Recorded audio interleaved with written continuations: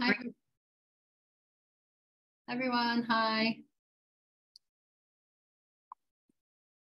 Give me a sec. Trying to see how to share screen.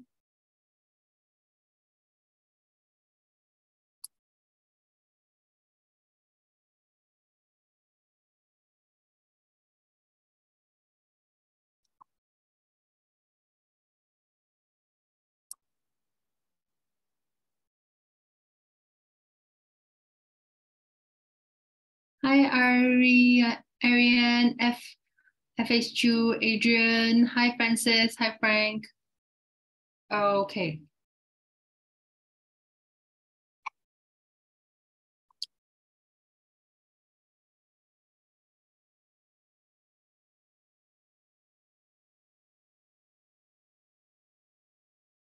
Can I just check if everyone can see my screen? It should say um, Ultimate Forex Trading Masterclass Tickmill 2022. Okay, it's supposed to say 2023, but my other, hi, hi Richard, but my other uh, slides, my other slides, um, it says corrupted, so I have no choice. I have to use these slides for the introduction. Anyway, it's just an introduction. More importantly is when we go to trading view. So I was just going to use this older slides to do the introduction. Hi. Hi, Yunus. Hi, Summit. Hey, Summit again.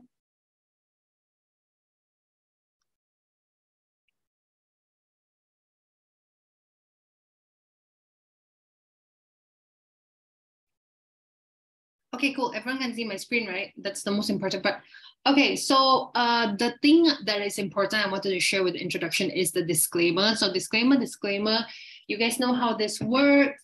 Any information I share in this webinar should not be construed as trading advice. Okay, you should only take this as educational. You shouldn't take this as financial advice or investment advice or any kind of trading advice. Just uh, only educational. Okay, cool. Everyone okay with that? Other than that, I'm just going to introduce myself and then we can go straight um, into the live webinar because I the these slides are not the correct slides. Uh, so it says advanced Ichimoku Kinko Hyo strategy. This is an old slide again I was saying. Okay, uh, by right today is a live trading analysis session. Okay, today is a live trading analysis session my slides were corrupted, the actual slides were corrupted, so I have no choice but to use an old slides to do the introduction. Okay, so for those who don't already know me, my name is Cassandra, you can call me Cass. I am an investment analyst and a prop trader at Everest Fortune Group, an award-winning research firm. We are the finalists for Best Forex and Best Equity Research for 2019, 2020, and 2021. 2022 is not out yet that's why you don't see it here. Basically, what we do is do a lot of research. We do a lot of um, back testings to kind of forecast where we think the markets are going. And then we advise banks, brokerages, hedge funds, financial institutions, and we share them in these webinars, okay? Oh, hey, Jamilu. Hi.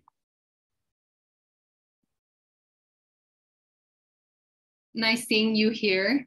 Okay, so in terms of my own trading, I am a prop trader. I not only trade for Everest, I trade for a few other prop firms as well. For those who don't know about these prop firms, these prop firms require a trader to be profitable within eight to 10, with eight to 10% profit within the month to even get into their firm or even get funded. So I am uh, a funded trader. I've done eight to 10% multiple times already. Um, so how I did it is using technical analysis. So if you guys have any questions regarding technical analysis, do not be shy. Please ask me about uh, technical analysis. I will try my best to help you. Okay, guys, just give me a sec. I feel like the lighting is really dark. It's hurting my eyes. Just give me a sec. Let me just turn on more lights.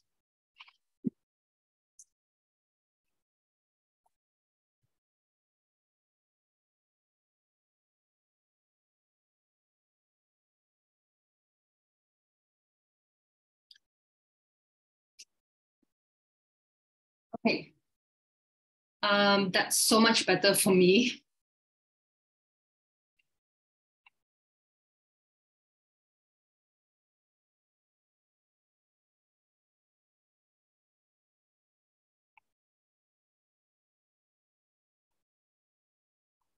Hi, Mar Malesela or Samuel. There's no slides today. I'm only using this as an introduction. After this, we're going straight to uh, live trading. Okay. Um. Hi, Richard. Yes, I do use a lot of Ichimoku. Hi, Pravin. Okay, I do use a lot of Ichimoku. That's what we did. We did uh, this webinar, I think a while ago, probably months ago. Why I'm just using this old slides. For those who are asking for today's slides, there are no slides today because today's session is a live analysis session. Okay, so I'm gonna stop sharing. We're gonna go straight into uh, trading view.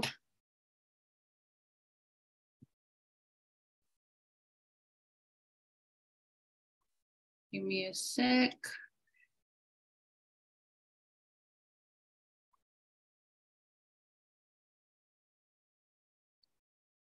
Okay, cool. Can I check if everyone can see my screen? It should say, it should be on trading view, view XAU USD. Can everyone see my screen?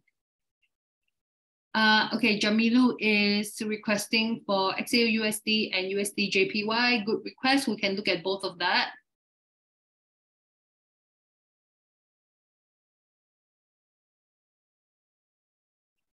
Can uh, you guys let me know if you, can, you guys can see my screen? It should say trading view.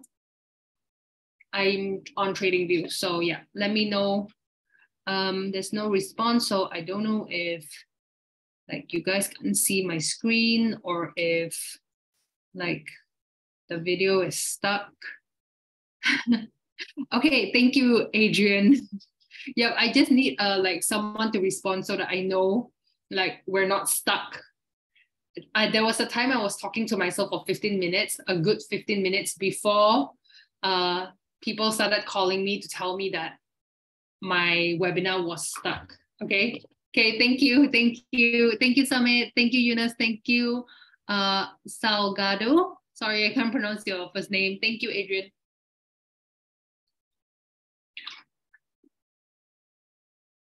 Okay, cool. So um, I think Summit, you've already joined my um, webinar earlier on. Right, my other webinar. Okay, so one thing I noticed with, I'm gonna quickly share with you guys, one thing I noticed, I do see a lot of regulars here for Everest Fortune Group. So um, probably Richard, um, let me see, Summit, Jamilu, okay you guys would know this strategy. So the thing that i wanted to point out first before i do my usual trading style is to point out that there is a nike tick strategy here. So a nike tick strategy is basically a strategy that we notice here at everest fortune group. So remember at everest fortune group we do a lot of back testing and a lot of like back testing of research. So what we notice from all our back testing and research that every time not every time i would say a good eight to ten times price does this Nike take? You know, Nike, the brand, the shoe brand, okay, like Nike.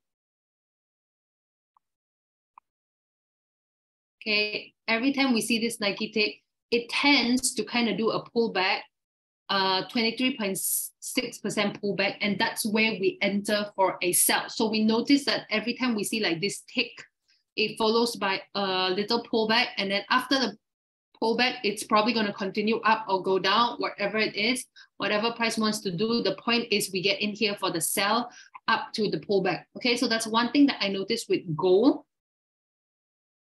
Okay, so how this strategy works is that you take the swing high and the swing low of that Nike take. So you get the Fibonacci extension.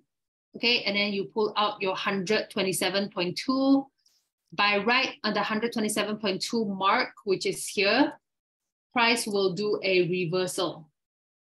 Okay. So this is where we would have entered for our sell. Uh, it looks like the sell already happened. It looks like price already went there. Okay, and now it's pulling back. Okay, so where do we sell it to?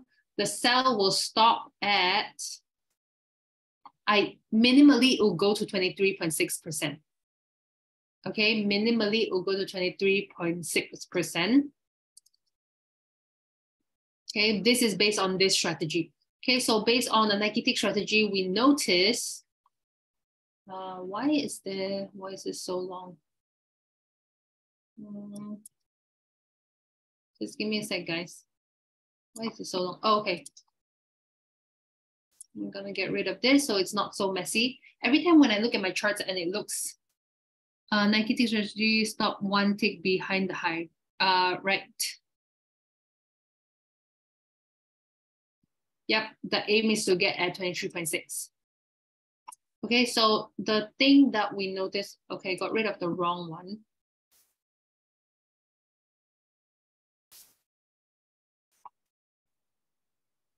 So it will do 127.2 and then from this area kind of pull back 23.6. Okay, so that means ideally based on this strategy, it will pull back to kind of this area and then you kind of take profit here. And then from here, it does whatever it wants to do. Okay, either it can go up, it can go down, it's up to price. Because the point is that we're getting in here from, from here to the sell. So it doesn't really matter what happens afterwards because it already hit our take profit. Okay, so the thing is, uh, I was hoping that the, the 23.6 landed here actually, because then it will be a confluence with the horizontal pullback support here. But in this case, it's here. I do see confluence here as well. It would be here. The confluence will be in this area, okay? Kind of like somewhere in this area because it kind of coincides with this swing low okay, not the best support area, but I mean, uh, I will acknowledge that there is a support area there. Okay, what I ideally wanted to see was the swing low being the 23.6 landing here. Okay, but in this case, it didn't land here. Let me see uh, where the swing low would suppose to end. Okay, if it came here, the 23.6 was there. Um, okay, I know why it's not landing there already. Okay, um, I know why it's not landing at 23.6. Okay, because the swing low I'm supposed to take is from here. And the swing high I'm supposed to take is from here. And then we pull up the 23.6 level. Okay, so yeah. So it does line up at this swing high here. Okay, so, so the idea is that you get in here. Uh, it'll be clear if we move down to the four hours. Okay, the uh, even the one hour actually. Okay, uh, yes. So the idea is you get in here at the sell entry, you sell it to the 23.6, and then after that, whatever happens, happens. Your stop loss, you just put it, your stop loss, you put it at the,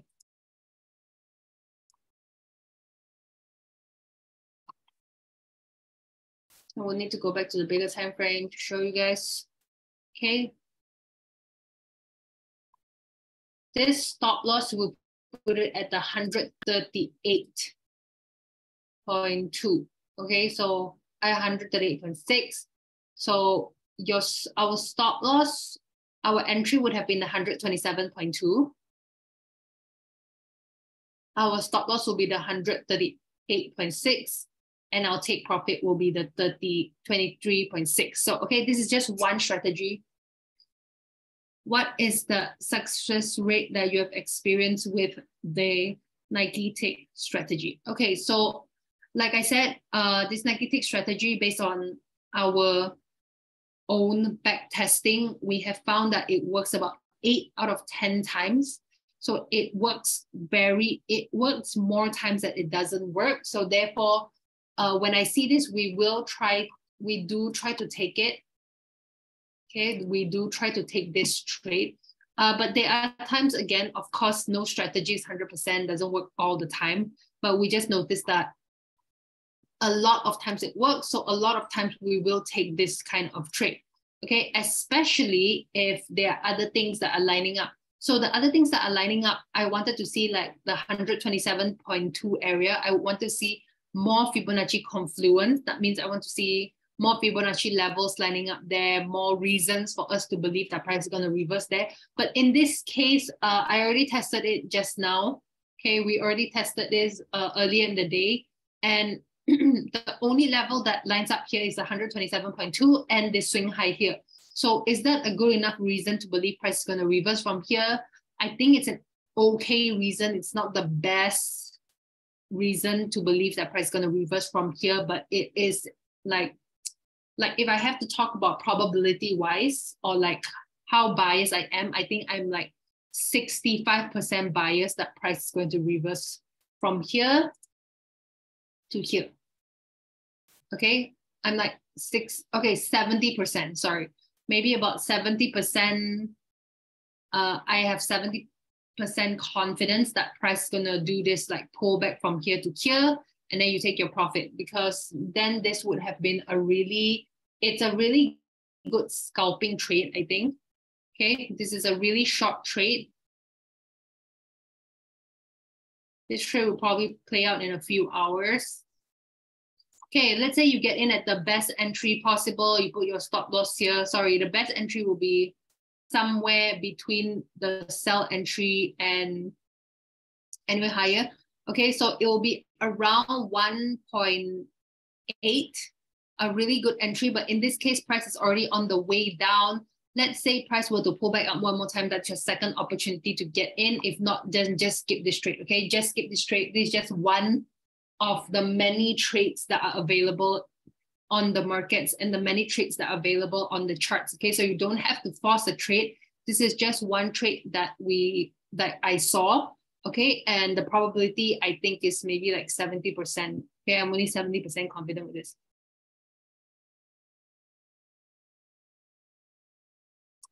Um, hi, Leanne. Are you mentioning numbers in your stop loss, take profit, etc., which are different from the charts? Um, I haven't mentioned any numbers. I'm only highlighting uh, zones that could be your stop loss, take profit, and entry. I haven't like actually mentioned any numbers yet. The numbers you want to look at, uh, these are your zones.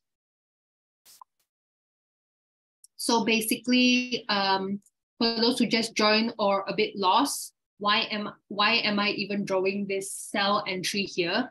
It's because okay, it's because uh, like I was saying here at Everest Fortune Group, we focus a lot on like like uh, research and back testing. And from our back testing, we noticed this strategy called the Nike Tick strategy. We, it's probably named something else, okay?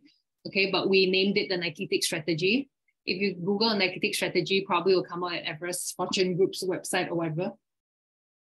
Okay, so this Nike Tick strategy, we notice that every time price does this like tick kind of pattern, it tends to pull back to the 23.6% Fibonacci retracement. So the thing that I'm calling is the possibility that price will reverse from this area, which is this sell entry here and this swing high here, the 127.2 Fibonacci extension to this 23.6 Fibonacci retracement area. Okay, so that's one probability, one possible trade setup. Okay, that is one possible trade setup. Whether you guys want to get in on that trade is entirely up to you. Okay, it is entirely up to you, but this is one setup that we do use sometimes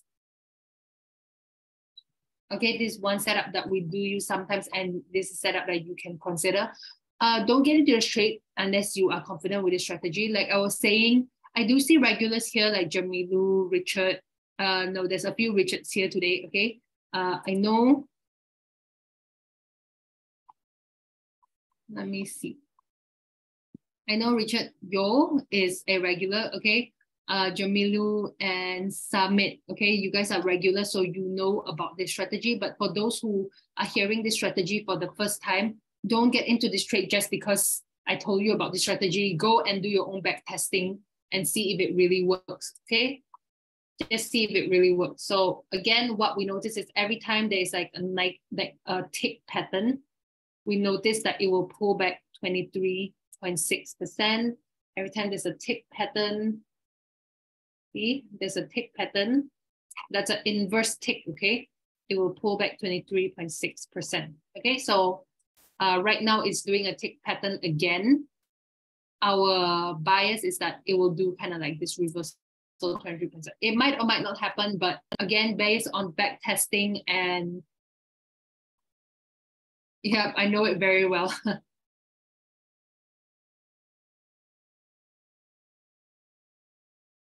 and apply the flip. Yeah, that's right. How do you know that the uptick hasn't stopped to take the trade? Uh, that's why we use the 127.2.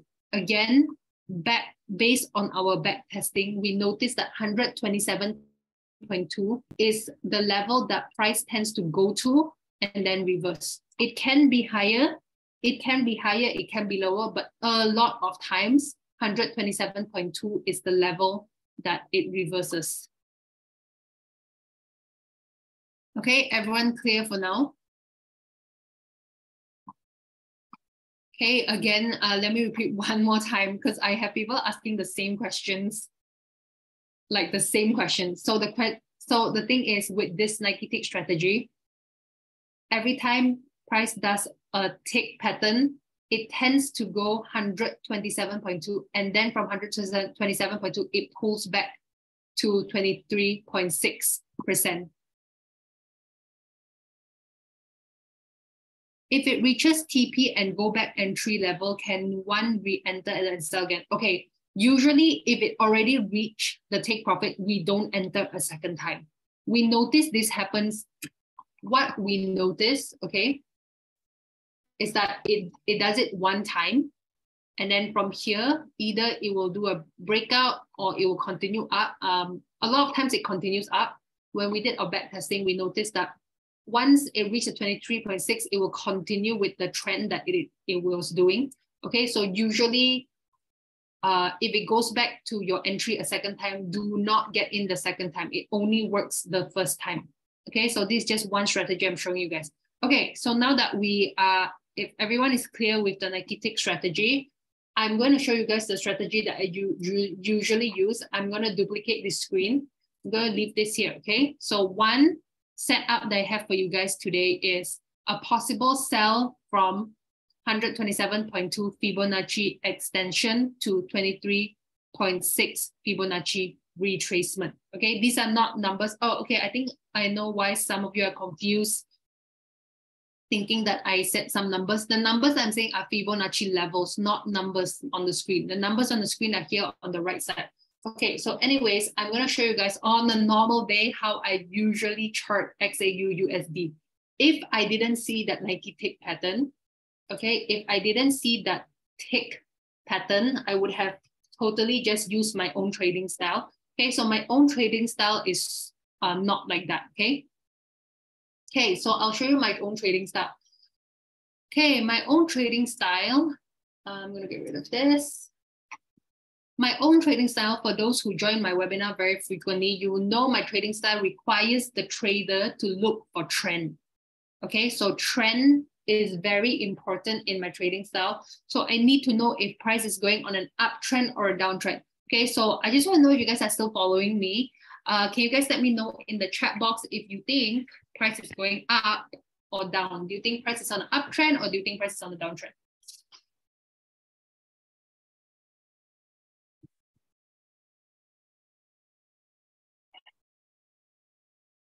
Just from looking at the charts.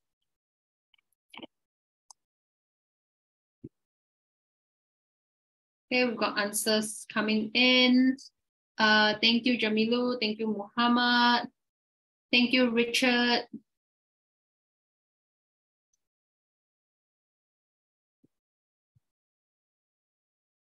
Uh, thank you, Brian.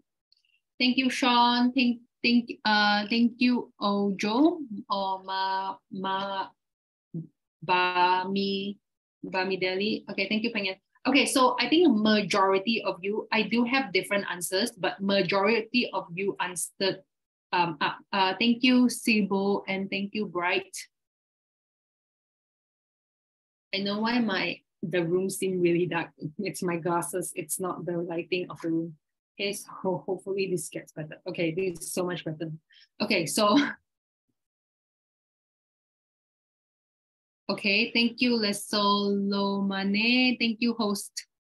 Um, okay, so there are different answers. I do see some of you saying down. I do see some of you saying consolidating. Majority of you said up. Okay, um, let's see what what I think it is.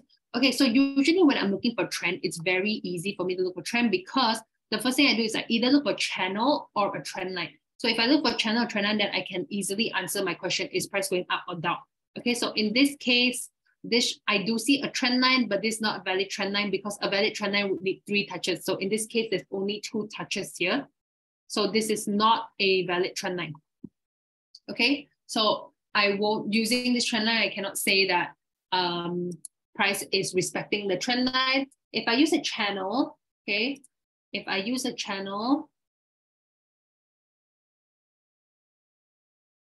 price looks like it's going nicely up this channel, but I wouldn't say it's this is a valid channel. Okay, so our rule for channels is that it needs to have two touches at the bottom and two touches at the top. But right now it only has it only has one touch at the top and two at the bottom. So this is not a valid channel. Okay, that being said, it doesn't matter. I can still identify trend without the channel and the trend line. How do I identify trend? The rule, the most basic rule of identifying trend is higher high, higher low, or lower low, lower high. Okay, so in this case, the highs are getting higher. Okay, we can see higher highs, higher lows. Okay, so based on this very simple rule, I can establish that price is going up. Okay, it's going up kind of like in this pattern uh, we couldn't draw it in a parallel channel, but yes, it is going up in my opinion. Okay, so now that it is going up, now that I know that it's going up, I feel like we have won half our battle. Okay, why? Because if I know trend is going up, I should be entering for a buy or a sell. If you guys know that trend is up, do you guys enter for a buy or sell? Just quickly let me know in the chat box while I highlight some support resistance area.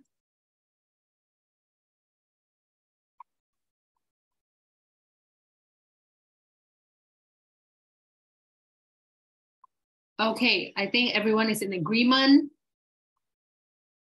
Answer, answer up. I will go, I will, en I will enter for buy, buy, buy, buy, buy. Uh, we do have a few people saying sell. Majority of you are saying buy, okay? Why? Because although price is always going in a zigzag motion, okay? Price is moving, price is constantly retracing. Ideally, you want to get in here for the buy you want to get in here for the buy, you want to get in here for the buy. Okay, you can get in here for the sell if you want to. Yes, I'm not saying that if price is going up, you can you cannot go in for a sell. You can, but it is going against trend. We try to follow trend because it is safer. Okay, it is safer to follow trend also because if the trend is going up and you enter for a buy, the momentum can push you to your take profit easier than your stop loss. Okay, it is a buy when it's low and sell highs. Yeah, that's right. Okay, so if you are entering a buy and the momentum is up, it's easier for momentum and the trend to push you up.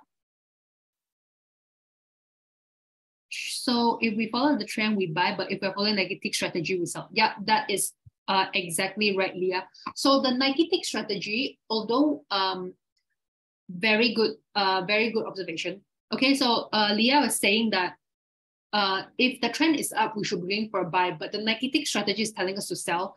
Okay, so the Nike tick strategy, I personally, I don't use the Nike tick strategy.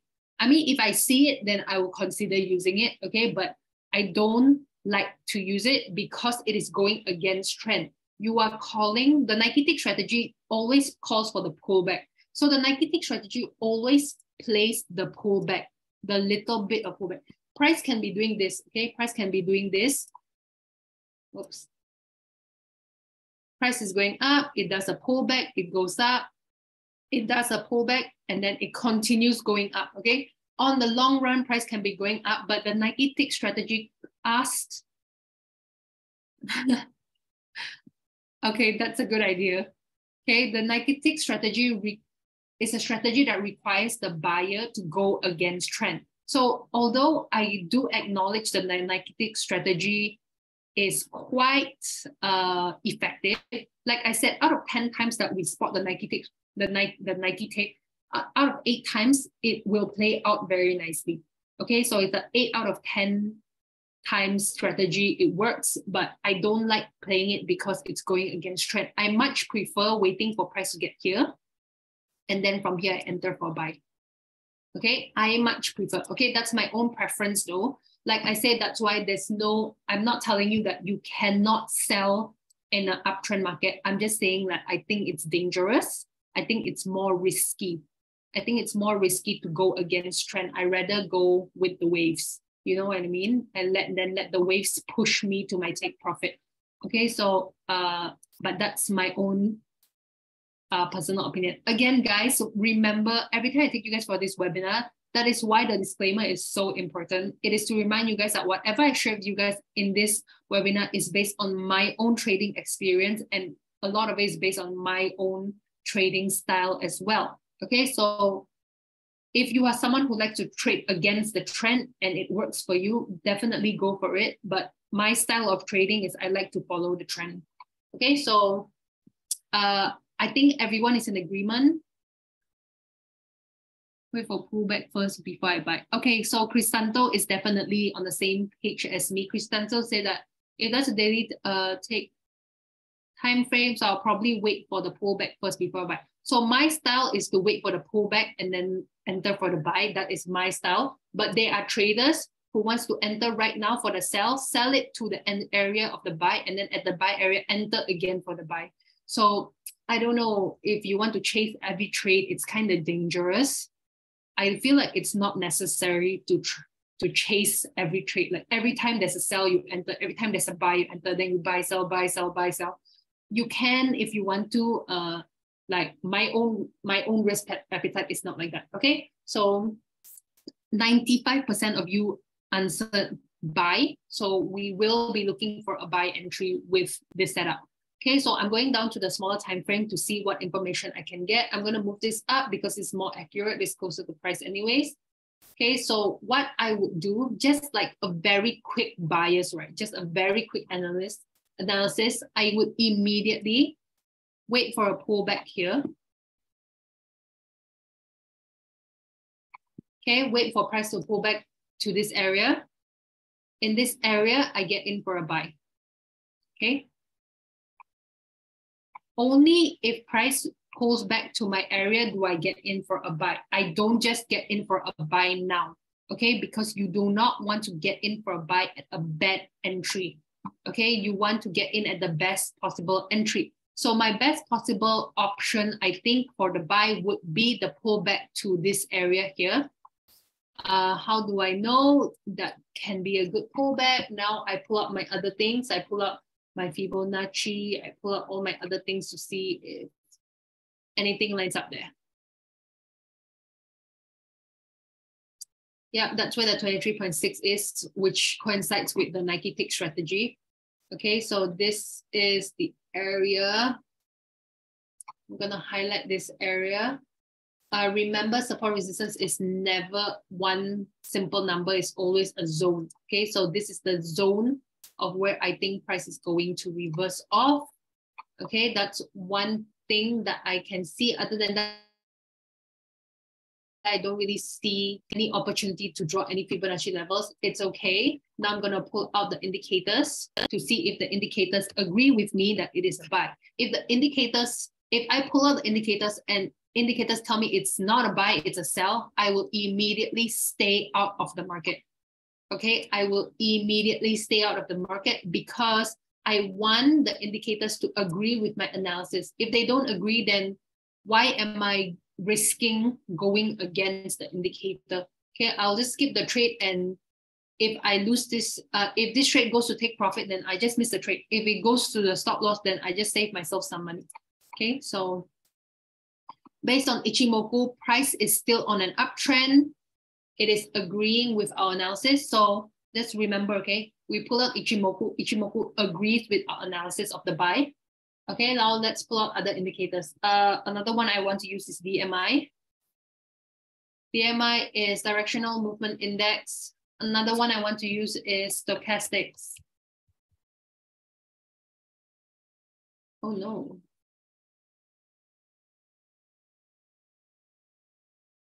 It's not the stochastics at one. Okay, there, stochastics. Another indicator I want to use is, okay, I because my account is the free account, I don't think I get to use so many indicators. Okay, we just need to remember Ichimoku is agreeing with our analysis. I'm gonna delete Ichimoku so I can pull up more. I think I can only use three free indicators, three free indicators at a time. Okay, RSI. Okay, I wanna see what these three indicators are telling me. Okay, if I'm looking at a DMI, DMI is an uptrend. DMI is an uptrend and trend is strong. Okay, so Ichimoku agrees with us. DMI agrees with us. Uh, the overall uptrend of higher high, higher lows agree with us. So we have three reasons. Is Ichimoku set up by default? Yep, Ichimoku, I just use the default settings. I do not change the settings for Ichimoku. Okay, so everything about trading is logical. Okay, there's nothing about trading that is emotional. There's nothing about trading that is like feeling like, oh, I feel I woke up today, I had a dream that gold is going up. No, there's nothing about trading that is like by feeling or like that. Okay, so everything about trading has to be logical. So I tell you guys that it's a buy. I now need to give you reason why I think it's a buy. So the, the indicators and the charts need to tell me that it's a buy so that I can tell you it's a buy. Okay, I need to have reason. So everything about trading is very logical. It's very, very logical. Rest of the indicators by default too. Okay, uh, RSI, I use default, so 14. Stochastics, I use 21, 5, and 3. Because based on our back testing, we noticed that 21, 5, and 3 works quite well. Okay, so 21, 5, and 3. By default, I just usually just change it to 21, 5, and 3. RSI, I just leave it. Uh, DMI, I pulled out the DMI, it is by default. So other than stochastics, the rest is default. Okay, so DMI agrees that it's a buy. Ichimoku agrees that it's a buy. The next one is stochastics. Does stochastics agree it's a buy? Okay, if anything, stochastics is saying it's a sell, which is perfect for our analysis. Remember, our analysis is price needs to pull down first. Only after it has pulled down, here you enter for a buy. So if we're looking at stochastics right now, stochastic is kind of saying, okay, we're at the overbought area, it's time to pull down, which is perfect. If it pulls down, then it will pull down to our entry. We need price to go to our entry, then we can get in. Okay, uh, guys, give me one minute. I'll be back.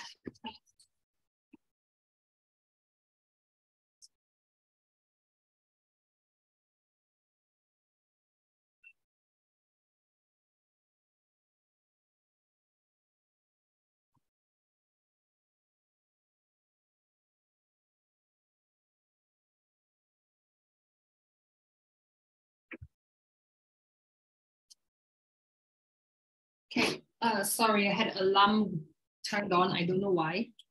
It's probably by accident. The alarm was ringing in the background.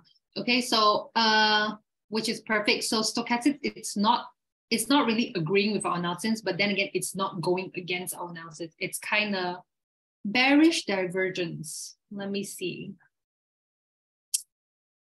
I'm trying to see the bearish divergence. Mm,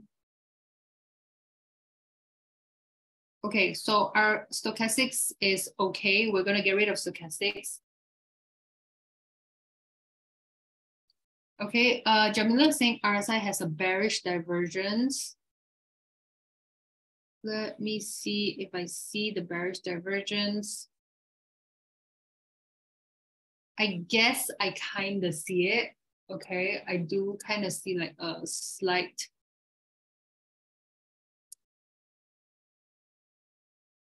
I do see a slight divergence here. Okay, that's one. First is first there's this one here. Okay, but that one's over already. Okay, a second one is here. Making higher highs, making okay. I do see the bearish divergence. Uh, thanks, Jamilu. Uh, okay, so I do not like divergences. uh, I really don't like divergences. I think I didn't, I don't know, it was last week I took you guys or the week before. Ethereum, everything was showing a sell. everything, all indicators showing a sell, Ichimoku, stochastics, trend line, blah, blah, blah. Everything is showing a sell. And then RSI was showing a bullish divergence. Guess what? RSI was correct. So 100 indicators. Okay, so uh, good catch, Jamilu. Okay, guys. Right now, a lot of signs are pointing to buy. Okay, but there's a bearish divergence RSI. So the thing about bearish divergence is that price on the charts is going up, but on the RSI, it's going down. Okay, so the RSI, which is an oscillator, is showing otherwise. Okay, so it is the right now, so far we pulled out four indicators, right? It is the only indicator that is showing us otherwise. Okay, so if you do want to enter this buy, my advice to you is okay, you have two options. Okay, number one, don't enter at all, totally skip it. Okay, why? Like sometimes when I see divergence, I immediately skip the trade. Why? Because I have been burned many times before, just like Richard. I have been burned many times before by divergences. Everything is telling me it's a buy. The news, even fundamental analysis telling me it's a buy. Everything, all technical analysis telling me it's a buy. Suddenly there is one bearish divergence, and then the bearish divergence is correct. Like, mm. so if you want to enter this, you have two options number one, don't even enter at all. Number two, if you are going to enter this, go in with a small lot. So if you usually risk 1% for this, maybe today, maybe if you want to enter this buy, you can risk 0.5%. I can't see why gold go, would go down today as the US is weak. Yeah, exactly. So even fundamentals is saying that there's no reason for gold to go down, but uh, we're not going to ignore that there is a bearish divergence here. So whether you want to take this bearish divergence into consideration is entirely up to you. I won't say it's the strongest divergence. A stronger divergence, I would like it to start from here. So that means from here, there was already a swing high and then it's making lower lows. Okay, but I will acknowledge that there is a little bit of divergence here. So whether you want to take this into consideration is up to you. Because of this divergence, let's say just now I was uh, let's say before I saw the divergence, I was like 85% confident of this buy trade. Now that I see the, the divergence, I immediately am like 70% confident only. Okay, so my confidence level for this trade immediately decreases because of this divergence. So whether you still want to take this trade is entirely up to you. I would still probably take this trade, but at a very, very small lot size. I will take it at a very, very small lot size. Usually I risk 1%. Maybe today I will, if it reaches our entry, I'll probably risk like, um, I don't know, 0.3% maybe. Okay, I will still get in, I'll risk less. Okay, so this will be our possible buy entry. Take note of the divergence. Okay, the divergence may be a warning not to get in. Okay, um, see it's very hard because you have one thing telling you not to get in but you have so many other things to tell you to get in for the buy so who do you listen to do you listen to 10 people or do you listen to one person okay but that one person every time that one person speaks it's very accurate so who do you listen to that's entirely up to you guys uh, what you can do is put a very tight stop loss so that if you are getting in how many indicators do you look at before jumping, jumping in? Okay, I usually look at Ichimoku stochastics, RSI, and DMI. So I look at four. Okay, these are the four. Stochastic and RSI, my only reason to look at stochastic and RSI is to look for divergence. Okay. It's opportunity to use the Nike tape. Yeah, it is the opportunity. So maybe if you want to get into this cell, you can, but honestly, it, it's not at the entry. The entry is 2000. Right now it's at 1986. So it's a bit far from entry already. I don't recommend you getting in when trade is already on the way to take profit. Okay. The only reason I use RSI and stochastics is because I'm looking for divergence. If I don't see a divergence, I immediately take it as a green tick. When I see a divergence, then I need to think a hundred times whether I want to get into this trade. Okay, so uh, So that's how it is, okay? Stop. Oh, sorry, Richard, I don't really understand your question. Okay, I'm gonna move on to the next one. I think Jamilu is requested for another trade. Yeah, Jamilu is requesting for USD JPY. Let's see what USD JPY has for us.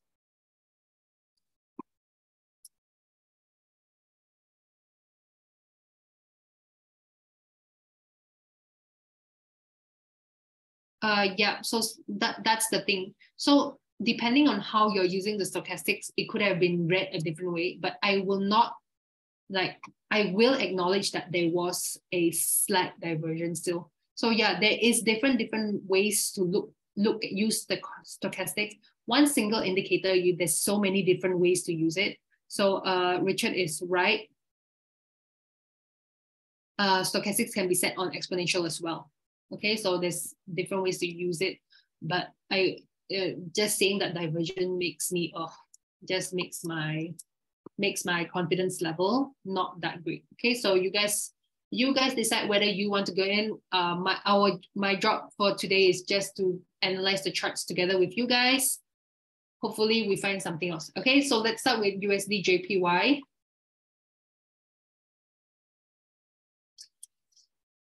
Okay, USD JPY. I do see price going on a downtrend. Kind of back with this. This looks like it's more like a retracement and a continuation downtrend. Okay, so there's two ways to read this. Number one,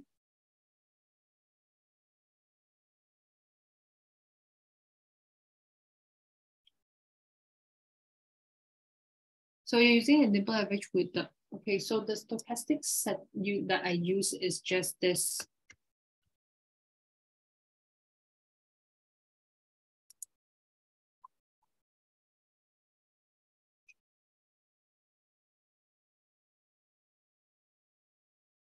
We're talking about stocks, right? Uh, yeah.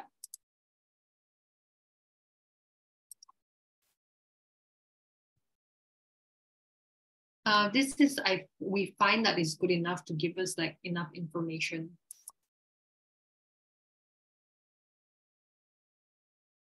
Right, this is like what we find to give us enough information.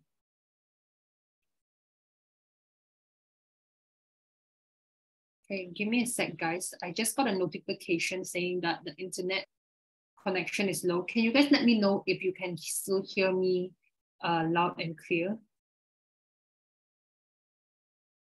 Can you guys let me know if you can still hear me loud and clear?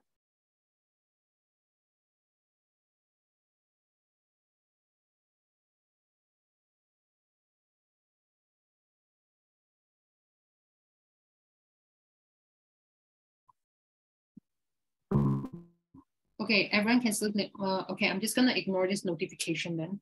I saw a notification that says, that says that um, Okay, um, before I continue, I did see someone say something. Is that not a bearish crown? Okay, SIBO, SIBO. Okay, let me see if that's a bearish crown. So a bearish crown is just a chart pattern, right? It's just a chart pattern. Okay, a bearish crown kind of looks something like, it kind of looks something like Okay, let me try to draw the best. I don't really use bearish crowns that often, but I, I know it looks kind of like a head and shoulder. Kind of looks like a head and shoulder.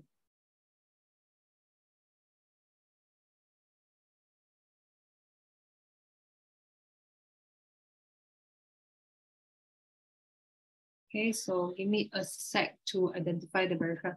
Okay, even if this this other pattern here, uh, thanks thanks Sibu Sibu for the for noting out. The stream got cut for a while, a few seconds a while ago. Okay. Um, is the streaming okay now? Is the streaming okay for everyone now? Uh, yeah, it was a bit laggy a while ago. Okay, now it's okay. Can you check if Jupiter is forming head and shoulder in the weekly time frame?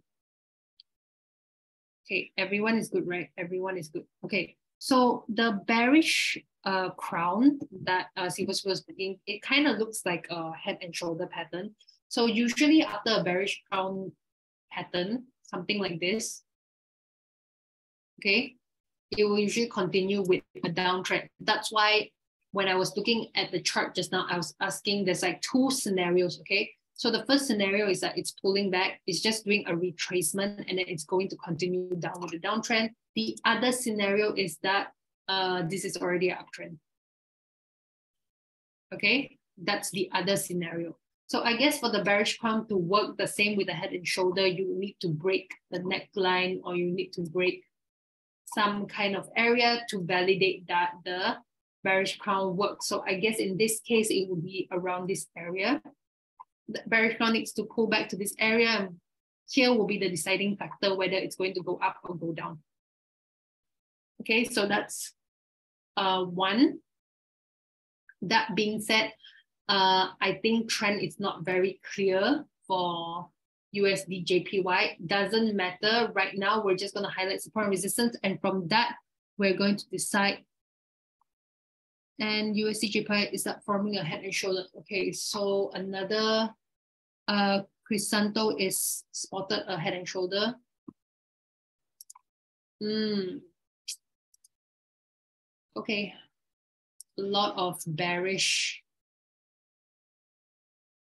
Okay, thank you, uh, Crisanto, thank you.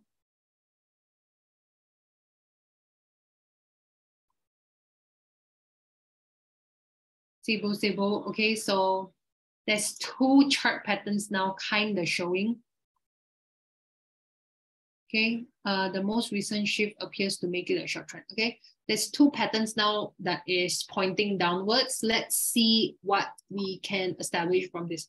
Okay, one thing, first things first, before we even chart USD JPY, let's see if there's news tonight on USD JPY. So if you guys didn't know at the bottom of the chart, do you see these circles here? If you guys didn't know, this is where you can look for news. So Fed press conference, FOMC, Fed, uh, all this is on the 23rd. Today's the 22nd. Uh, sorry, today's the 20th. This is not relevant to our analysis today. Today, headlines for USD JPY. Okay, I think we're good. Okay, so why am I looking at that? Um, my style of trading is totally technical analysis. I do not trade fundamental analysis.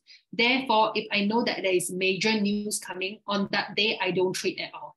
Okay, I don't trade because your technical analysis can show you, tell you that it's going up or tell you it's going down. Tonight, the Fed meeting FOMC data or whatever data comes out and it's it's performing better than expected, when that happens, all your analysis is out the door. Okay, that's why when there's news, I don't trade it. Uh, I was saying in the beginning of the webinar, if you have fundamental analysis questions to ask, don't ask me. I don't specialize in fundamental analysis. I specialize in technical analysis. Okay, so that's that. We're gonna look for support resistance. I'm a little bit more biased on bearish because of you guys showing me all the chart patterns. But let's see what the chart says, okay? Let's see if the chart tells us otherwise. Okay, so the first thing first I see on the chart is that price was moving on the uptrend. Okay, it was kind of moving in a uptrend, but that uptrend has ended already because price broke, meaning that the bearish momentum is strong. So at this current point of time on the daily, I am more biased towards sell than buy, okay? I am more biased towards sell than I am to buy because of the two chart patterns and because of this break of this trend line. Again, whenever you decide something in trading, it needs to come with reason. So my reason for believing that it's a sell is because I think that trend, the, the bullish uptrend here is so weak. It's so weak. It only pulled back a little bit. This down, it pulled back a little bit. And then now it's it looks like it's continuing its a downtrend. Therefore, I want to look for a sell entry. Okay, I am more biased to look for a sell entry. It could be a very, yeah, it depends on the dollar chart as well, of course. Okay, it, it could be a very short sell entry. Okay, but um, I'm just more biased on it being a sell. Again, trading or lower lows and lower highs. Yep. Lower lows and lower highs, especially on this smaller time frame as well. Can see that kind chart is kind of forming this like uh sh short structure anyways, this downtrend structure anyways. Okay, so I am a bit more biased that it is a sell rather than anything. Okay, so I'm to look for an analysis. We only have five more minutes left. I'm to look for an analysis on USD, uh, USD JPY. Okay, I'm more biased on the sell, therefore, I'm looking to play a breakout here. Okay, let me see if I want to try something else, okay?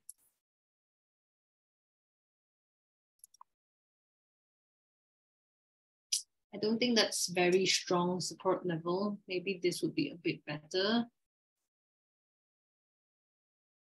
Okay, I think the structure of the charts isn't beautiful. I cannot use Fibonacci in this level because Fibonacci requires you to take the swing high and the swing low to get your levels, okay? In this case, the swing low is not completed yet. Can you see price is still moving downwards or I don't know if it's going to reverse here. I don't know if it's going to continue going down. But the fact that it is, it has not completed, it has not done a U-turn, means that the price is not complete, and therefore I cannot use this swing low to look for Fibonacci levels.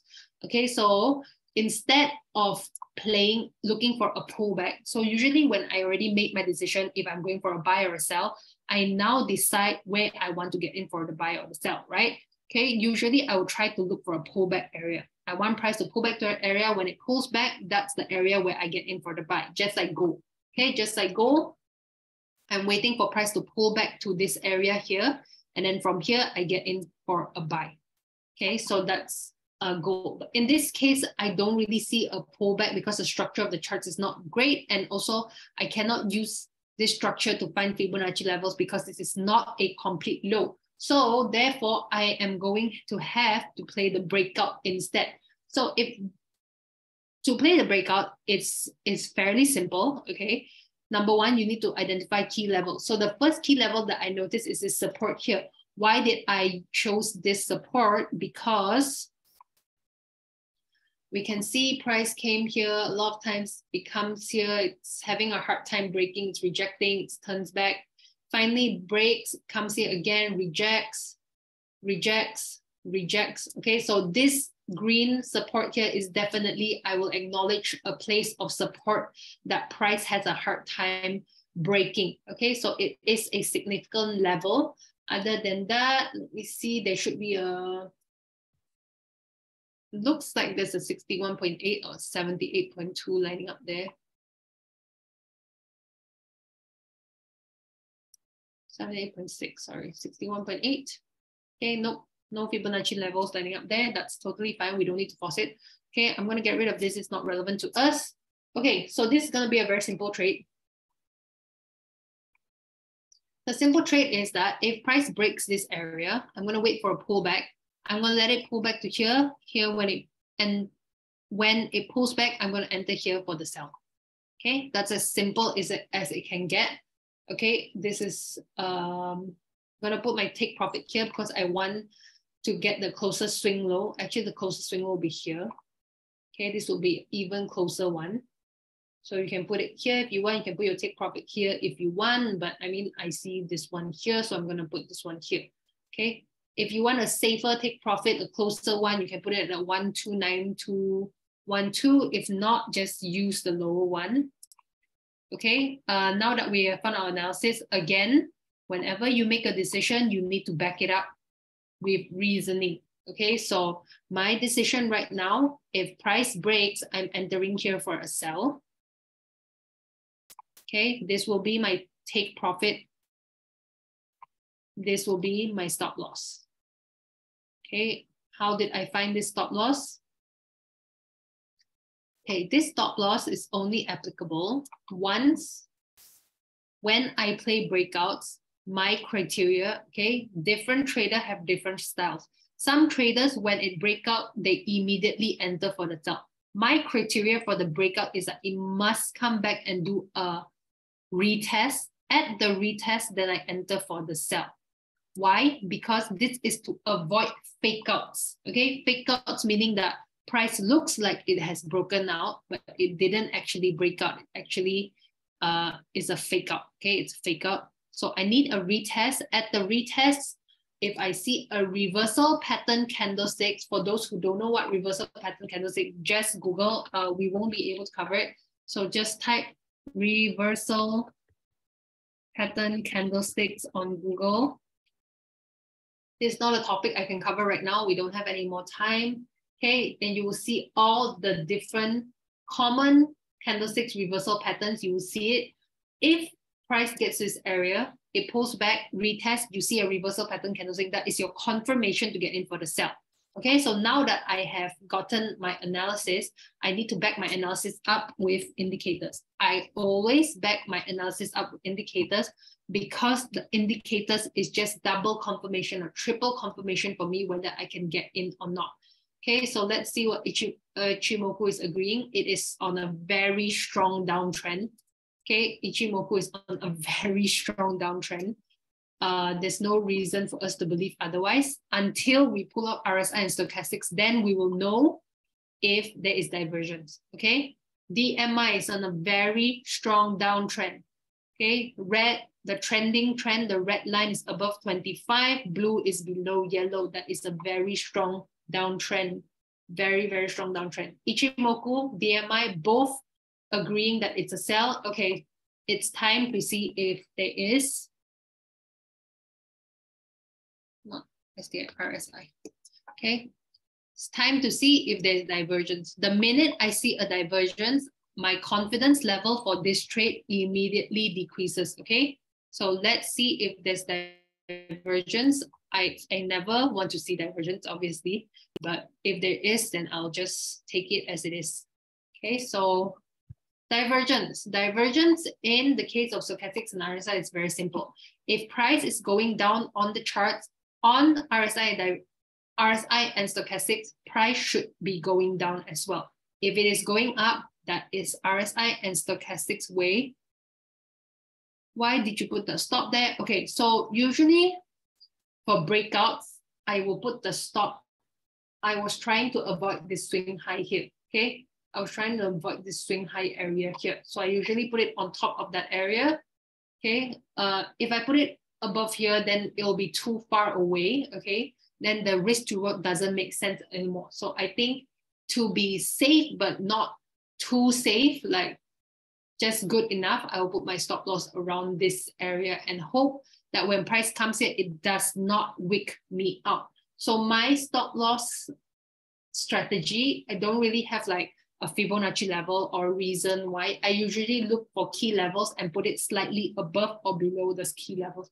Okay, in this case, I was trying to avoid this area, but this area is too huge. It's too wide. So my best bet is to put it just slightly above this area and hope, okay, I'm just gonna, it's it's really too wide. So I'm just gonna put it above this area instead, okay? I'm gonna put my swing high above this area instead, my stop loss above this area. So if price were to come back and retest, okay, hopefully it doesn't wick us out. Okay, RSI, bullish divergence. Uh, Jamilu is really good with this divergence stuff. Okay, so um,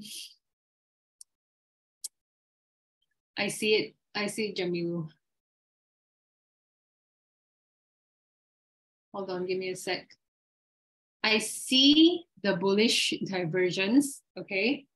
It's not a strong one. Just like gold, I see the divergence, but it's not exactly the strongest divergence. Uh, let me let me try.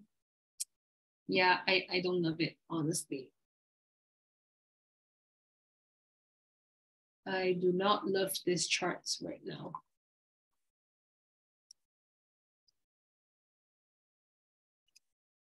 In a perfect world, there wouldn't be divergences, but if they are, we are going to acknowledge that they are. Okay, we cannot pretend that we don't see the divergence. I do see the divergence. It's a very tiny one. It's just like the tiniest divergence in the world. Do you want to take this into consideration? again, up to you guys. We just need to acknowledge that the divergence is here. Okay, so Ichimoku is saying is a strong downtrend. DMI is showing us a strong downtrend. RSI now says that there is a very slight bullish divergence, okay? A very strong bullish divergence will start here at the top of this uptrend here, okay? That's a very strong one. But in this case, it only started halfway here. It started somewhere around here in this area. I will acknowledge that it is there. Uh, whether you guys want to take it into consideration is up to you. Okay, uh, same for same for stochastics, okay? It's showing a very slight, a very, very slight bullish divergence because look, I'll show you guys how to spot it. Okay, by right here is making swing, swing highs, right? And here's another swing high.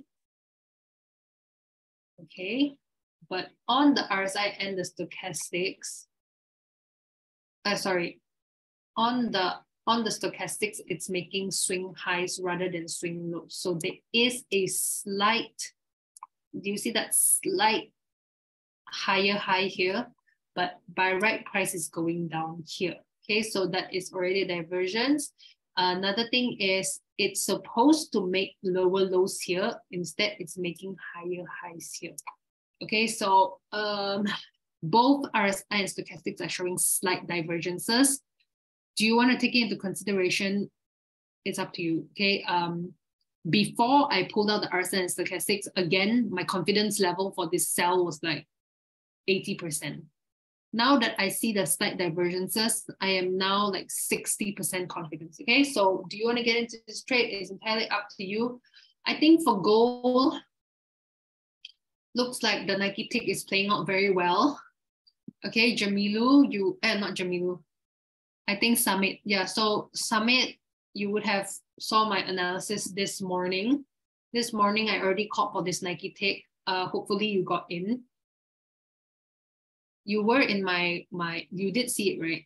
Uh, I, I hope I'm not, I'm, I hope you are the same summit from this morning. You are the same summit from this morning, right? okay. So um, this morning I already called for this Nike tick. Looks like it's playing up quite well. It's already halfway through. It's already actually almost reaching halfway through our take profit.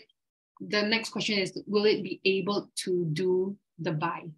Okay, will it be able to execute the buy? Okay, if this sell plays out, then that's great. We missed it already because when we started this webinar, price was already on the way to the take profit. That's okay. We can miss trades. Nike ticks happen all the time. We don't need to force this Nike tick. Okay. Uh, yeah, so that's all I have for today. XAU and JPY. I have a very, I have a buy for XAU USD. Take note of the RSI that bear, uh, bearish divergence that Jamilu spotted. The gap gives me confidence, on. okay, and USD JPY, I wanted to sell, but now I see this two divergences here ruining our plan. So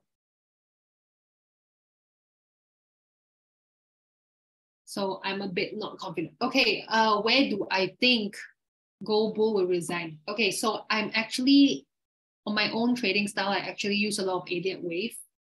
Okay, I don't know if I I taught you guys Elliott wave before. For those who like regulars such as like Jamilu, you I I just taught Elliott wave, but for the rest of you, I don't know if you've already learned Elliott wave. So based on Elliott wave, gold should be in an uptrend if there is a price going down, it should be just a pullback rather than a downtrend. Okay, uh, we're actually over time by 10 minutes, but I don't mind going longer if you guys don't mind staying longer. Okay, because I don't have anything else to do today anyways. How do I catch you always, please? Uh, okay, so I'm always I'm always doing webinars for Everest fortune group, so you can try to spot Everest fortune group stuff. Okay, so um, this might take for gold. One, two, three, four, and five. Is this recording available? Yes, this is recorded. I'm just not sure where they post it. Please approach uh, Tickmill because when I started this webinar, it says, it said recording in progress. So I'm sure someone will take this recording and post it somewhere. I'm just not very sure where it will be.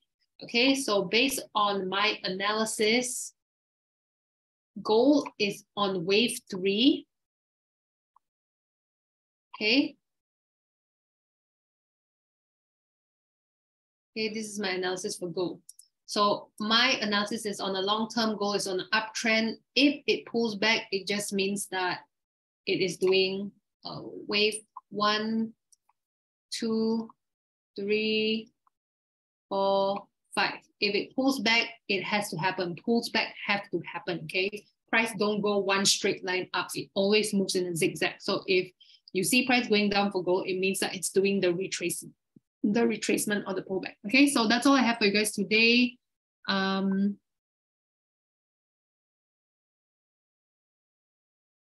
I don't, uh, no, there isn't a, a certificate. Thanks, Summit. Yep, we do have that tomorrow. Recording, please approach Tickmill. There's no certificate. Uh, thank you, Summit. Oh, thank you, Richard. Okay, so Richard has answered the question. Recording is on YouTube Tickmill. Account is about account in about three days. Okay, thank you, Richard.